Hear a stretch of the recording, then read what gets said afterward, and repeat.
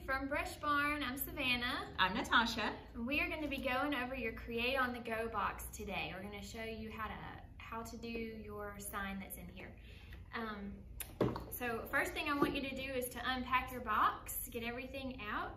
You should have a stencil. You should have your wood, brushes, paint, toothpicks, wax, sandpaper, a rag, um, everything you need to get started. The only thing you need to grab um, quickly is some water mm -hmm. and paper towels and something to cover your workspace so you don't get paint everywhere. Um, the first thing we're gonna do is lightly sand our surface. Um, don't have to do a lot of sanding, just lightly go over it. And you can sand your edges as well.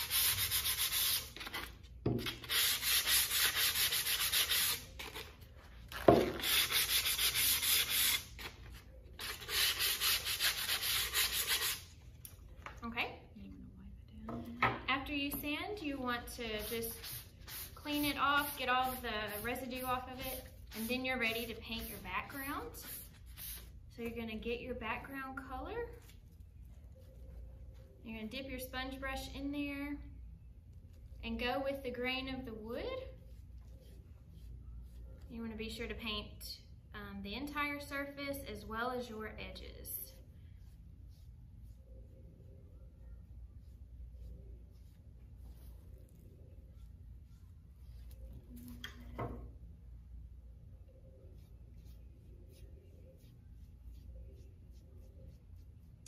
Helps with these brushes if you hold them flat, more flat, and drag the paint across the wood.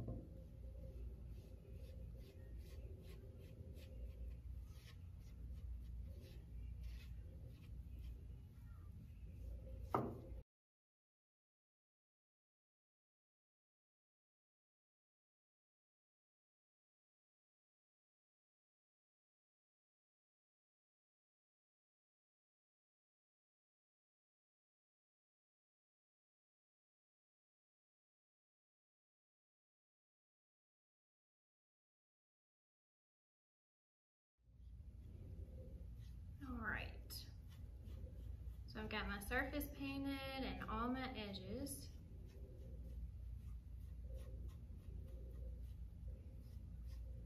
Okay. So now you want to let this dry.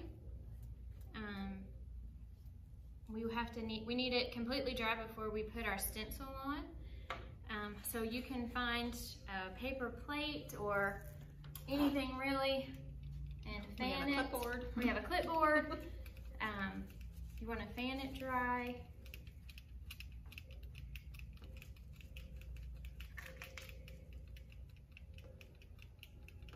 If the paint's wet, the stencil won't stick to it, so this is a very important part. Yes. While Savannah's drawing um, the background there, I'm going to tell you a little bit about the stencil. The stencil is made up of three parts. Let me see if I can get it to show you here.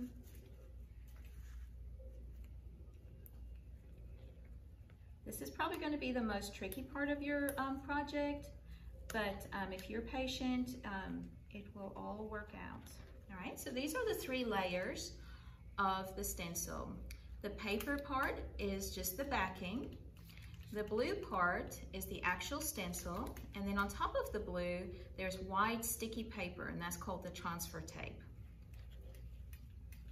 So in our first um, part, we're gonna lay your stencil face down, and we're gonna peel off the paper backing. To help it peel off really well, you want to rub on the back. You can run your fingers over it, just to make sure that that stencil is not going to stick to the backing but stay with the um, transfer tape.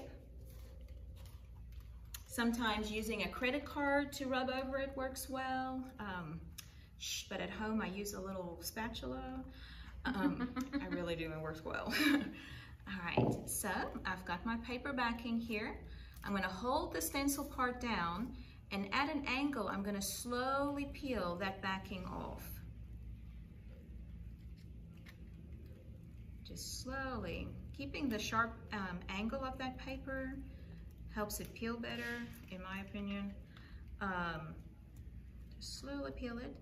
If it happens to bring up a little piece of the stencil and it stays stuck on the paper, just go back under and push it down and then start peeling um, that paper back again.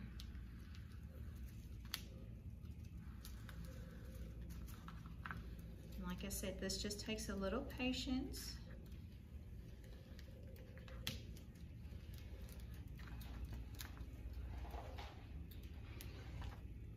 And there we have it. That's our backing. It's now done. And so your stencil, stencil should look like this. You have the blue part, which is sticky, and that's gonna stick down onto um, your wood, and then the white transfer tape on the top. Mine dry is, enough? Mine not dry enough. So we're gonna wait a little bit longer.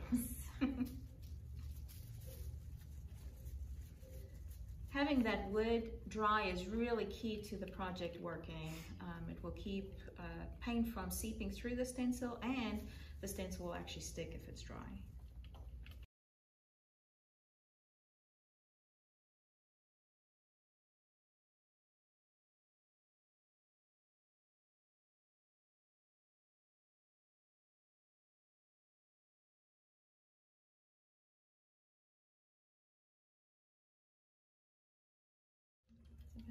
Yeah.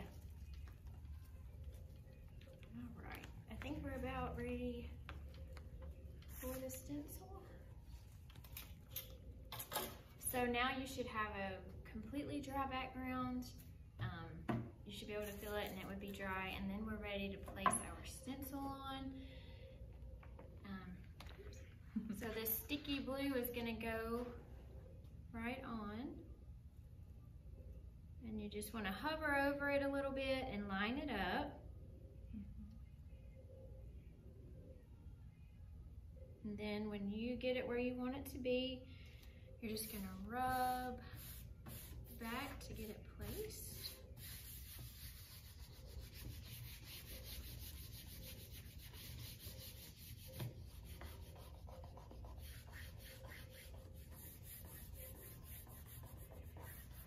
Okay, and then you're ready to peel off the transfer tape. It should be good stuck.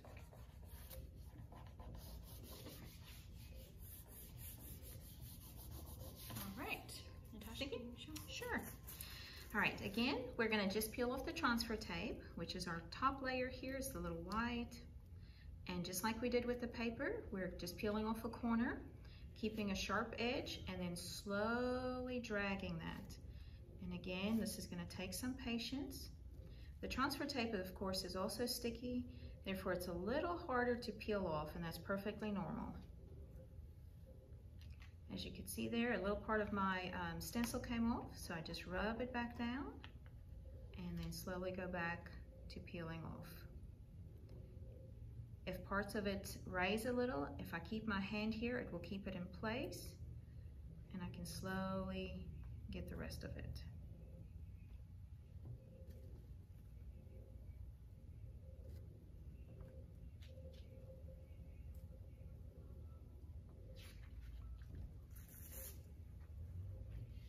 take a little bit of muscle, but that's all right, we got that.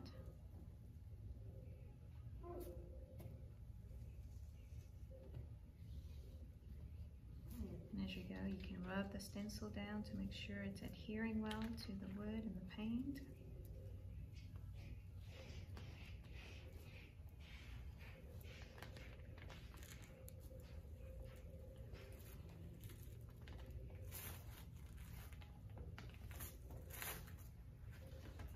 Ooh, we're almost there.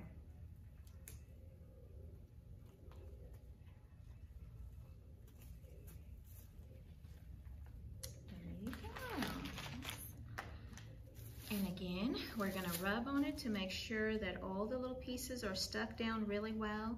Um, if there's an air bubble close to um, like one of the letters or something, it means your paint is gonna go into that air bubble and you're not gonna have good crisp lines. So this is also a very important part.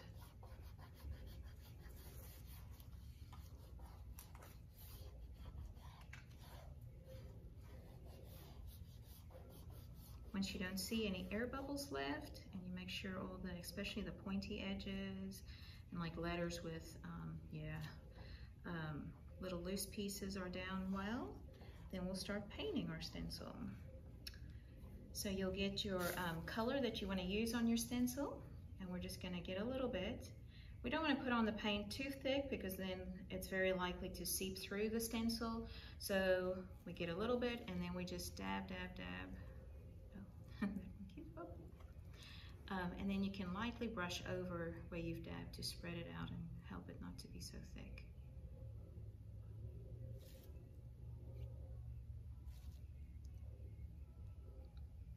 If you're doing multiple colors um, on your stencil, you do need to be a little more careful as far as um, the placement and how um, uh, how much paint you put on so you can have a little more control over it so that it doesn't go over to another area that you may want to paint a different color. I don't know, you may have some tips on that, Savannah. Yeah, I would just be careful on your uh, where your lines are, where your colors are, and then just remember that um, a few thin coats is better than one thick coat when it comes to the stencil. Absolutely. So it's okay if it looks like it's not covering well the first time. You can always, once that's dry, put another coat on there. And this does really dry pretty fast um, once you do the stencil part because it's Yeah. um, such a small space.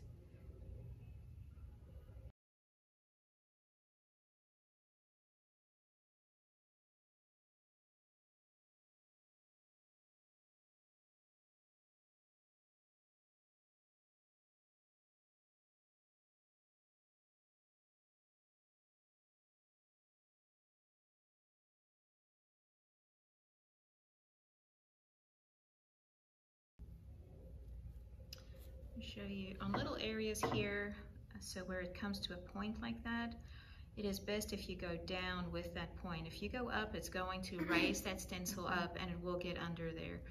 Um, I could feel that it did one over there when I went a little too quick. So make sure whenever there's a sharp point like that, that you um, go in the direction of it, go down. So I need to make sure I do that over here.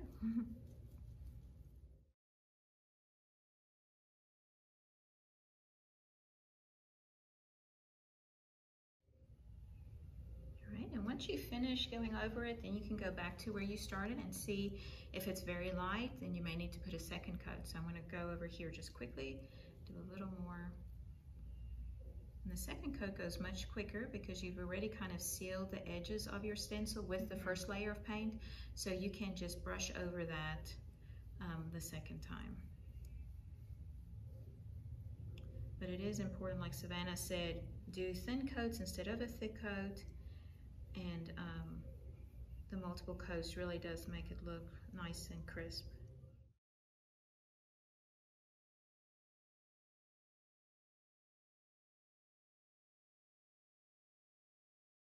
All right. Now we're back to drying, the fun part. All right. Spread these out a little bit. Alright. Stick it in the water. Now we we want that paint to dry before we peel the stencil off. Um, make sure it's crisp and clean when we peel it off. Mhm.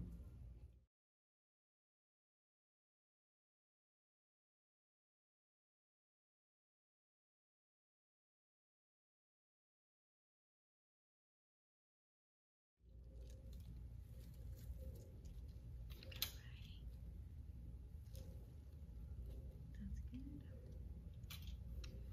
All right, now we get to peel our stencil off. Yeah, the fun part. It is. You get to see what you created.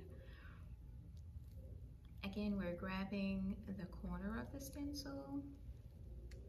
And just slowly peeling back. And your design should be revealed. This is my favorite part. Yes.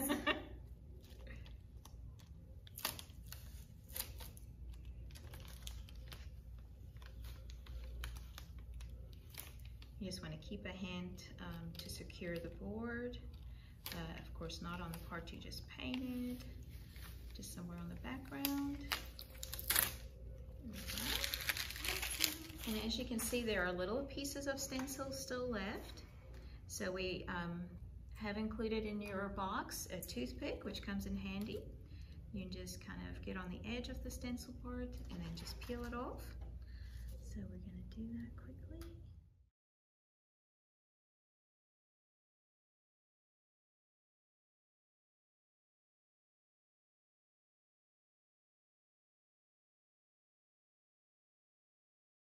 Oh, One more bead.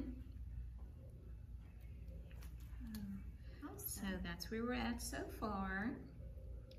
Looks beautiful.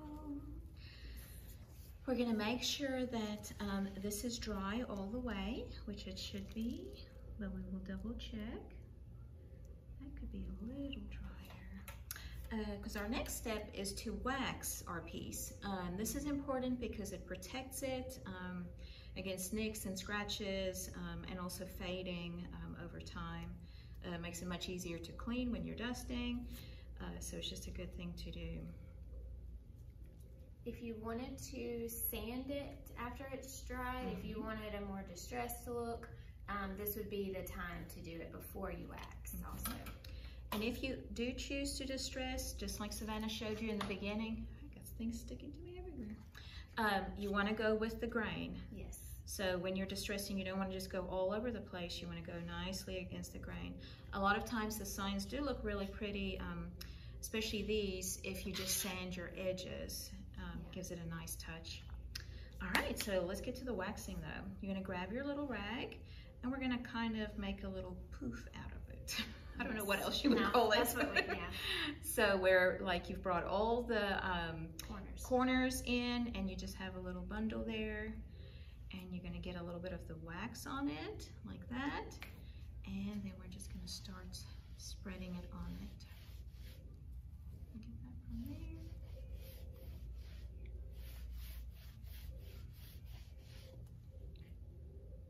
You may see a little bit of the paint color on your rag. Oops, come back. Uh, that's just a little excess. Don't worry about it. It's fine.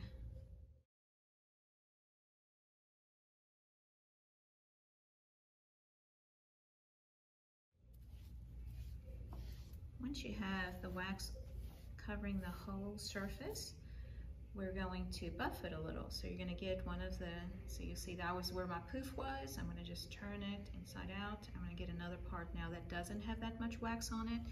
And I'm just gonna rub back and forth on it. Feel a little Karate Kid action. Yeah. And more pressure this time. That just gets the Yes. excess wax off. yes.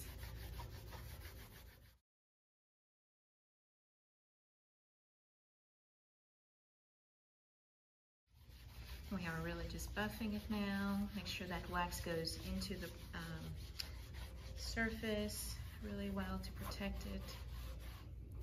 And go ahead and wipe my edges too since I did get some wax on them.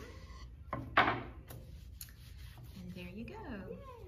And you'll feel to the touch, it's really smooth um, now and it's protected and will last a long time. Yes. Thank you so much for painting with us. We look forward to seeing your pictures on our Facebook and Instagram. Bye from Brush Barn. See you later.